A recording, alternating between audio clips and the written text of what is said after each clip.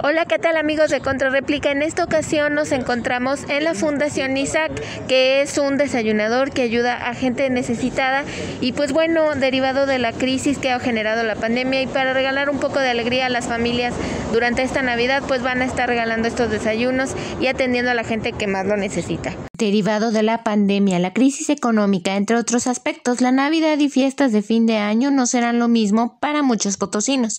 Sin embargo, asociaciones como Fundación Isaac AC se darán la, la tarea de apoyar a quienes lo necesiten. Las personas que vienen a desayunar son personas que no tienen recursos, este, que viven en la calle, que los abandonaron, este, que son alcohólicos, drogadictos, de todo tipo.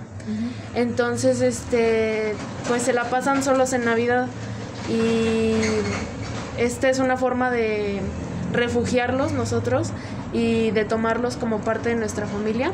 Como esta, habrá asociaciones y grupos de ciudadanos que durante esta etapa de crisis están brindando apoyo a gente vulnerable a través de las donaciones y desayunos gratuitos. Nicole Ortega, miembro de la fundación, señaló que durante este año se ha duplicado las atenciones que brindan, pues de 30 platillos que se dan, hoy en día se sirven hasta 60 paquetes diarios. Antes dábamos desayunos de 30 o 40 personas diario. Este y ahorita ya están viniendo de 40, 50, 60 personas diario.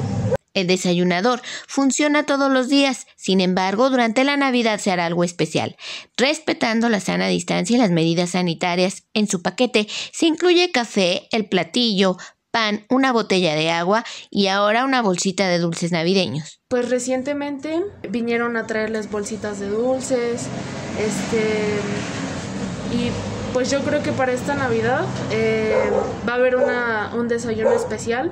Para seguridad sanitaria, el paquete se les entrega como servicio para llevar. La fundación recibe también familias que quieran ser voluntarios y ayudar a la preparación de estos desayunos. Por el momento solo están recibiendo donaciones de artículos envasados, no perecederos y medicamentos, pues aunque las cobijas y ropa también solían ser recibidas, sin embargo, derivado de la pandemia, este año, por motivos sanitarios, la donación de ropa se detuvo. Años anteriores, antes de todo esto, estábamos recibiendo donativos de ropa, medicamento y comida.